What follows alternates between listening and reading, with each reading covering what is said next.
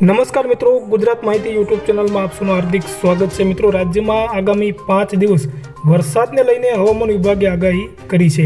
આ વર્ષે રાજ્યમાં સારા વરસાદની આગાહી હવામાન વિભાગે કરી હતી. જોકે ગુજરાતમાં ચોમાસાની સિઝનનો દોઢ મહિનો વીતી ગયો છે, પરંતુ હજુ જોઈએ તેવો વરસાદ સારો થયો નથી. ત્યારે પંદર ઓગસ્ટ સુધીમાં હાલ હવામાન વિભાગે કોઈ સિસ્ટમ સક્રિય ન થવાને કારણે ભારે વરસાદની આગાહી કરી નથી, પરંતુ રાજ્યના કેટલાક ભાગોમાં આગામી પાંચ દિવસ દરમિયાન સામાન્ય વરસાદની આગાહી કરી છે. ત્યારે આજે છોટાઉદેપુરમાં સવારથી જ વરસાદી માહોલ છવાયો હતો. છોટાઉદેપુરમાં બે કલાકમાં બે ઇંચ વરસાદ પડ્યો હતો.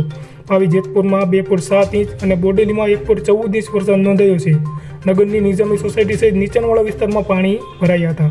ગુજરાતમાં હજુ એકતાલીસ ટકા વરસાદની ઘટ છે. છેલ્લા લાંબા સમયથી વરસાદે વિરામ લેતા ખેડૂતો ચિંતામાં મુકાયા છે.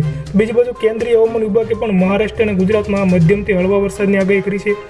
જોકે આવનાર બે દિવસ મહારાષ્ટ્ર અને ગુજરાતમાં ભારે વરસાદની શક્યતા બહુ ઓછી છે, પરંતુ સ્કાયમેટ વેધર રિપોર્ટ મુજબ આવનાર ચોવીસ કલાકમાં બિહારના કેટલાક જિલ્લામાં અને ઝારખંડ, ઓડિશા, રાજસ્થાન, પૂર્વ મધ્યપ્રદેશ ઉત્તર પ્રદેશ પશ્ચિમ ભાગમાં પંજાબ, હરિયાણાના કેટલાક વિસ્તારમાં મધ્યમથી ભારે વરસાદ પડી શકે છે. જ્યારે હવામાન વિભાગે ગુજરાતમાં આગાહી કરતાં જણાવ્યું હતું કે ગુજરાતમાં જુલાઈ મહિનામાં સામાન્ય વરસાદ થશે, પરંતુ સામાન્ય કરતાં પણ ઓછો વરસાદ નોંધાયો છે. ઓગસ્ટમાં સારો વરસાદ નહીં થાય તો પાણીની તંગી સર્જાઈ શકવાની ભીતિ છે. ત્યારે હાલ હવામાન વિભાગે આગામી પાંચ દિવસ અમદાવાદ, દાહોદ, મહીસાગર, પંચમહાલ, ડાંગ, નર્મદા, નવસારી, તાપી, વલસાડ, સુરત, ભરૂચ, અરવલ્લી, અમરેલી, ભાવનગર, ગીર સોમનાથ, દીવ સહિતના જિલ્લામાં સામાન્ય વરસાદ થવાની શક્યતા વ્યક્ત કરી છે.